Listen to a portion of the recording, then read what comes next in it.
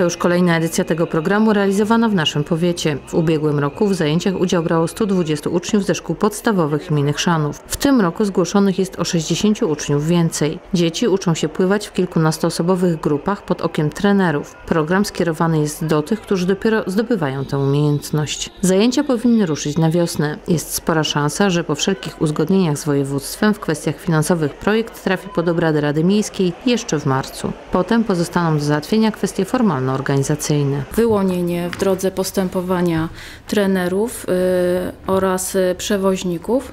Natomiast y, we wniosku jest wskazany basen, na którym będzie to realizowane, więc będziemy podpisywać umowę z basenem w Chrzanowie.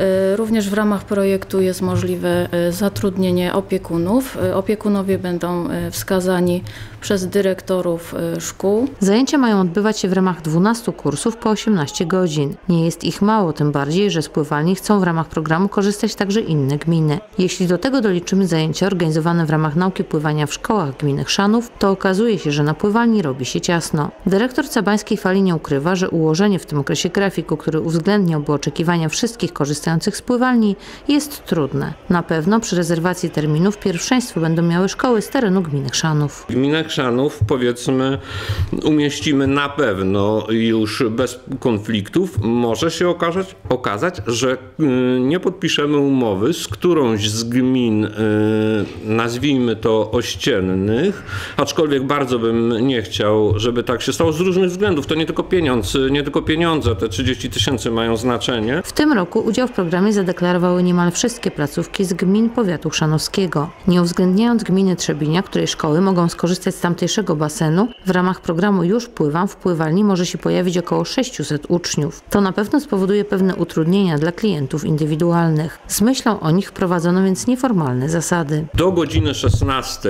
zasadę mamy taką od dawna, że przynajmniej jeden tor jest zawsze wolny do pływania, bo to jest to wojna o tory, prawda? Jest zawsze wolny e, do pływania dla klientów indywidualnych. Tak i zajęcia szkolne, jak i inne dopołudniowe nie mogą się odbywać na wszystkich torach. A po południu, po godzinie 16 już trzy tory wolne. Informacja o rozpoczęciu realizacji tego projektu ma pojawić się na stronie internetowej Cabańskiej Fali. Mimo pewnych utrudnień klienci indywidualni nie mają co liczyć na ulgi czy zniżki z tego powodu. Jak radzi dyrektor basenu, powinni przeglądać umieszczone w internecie grafiki rezerwacji torów i wybierać terminy, gdy pływających jest mniej.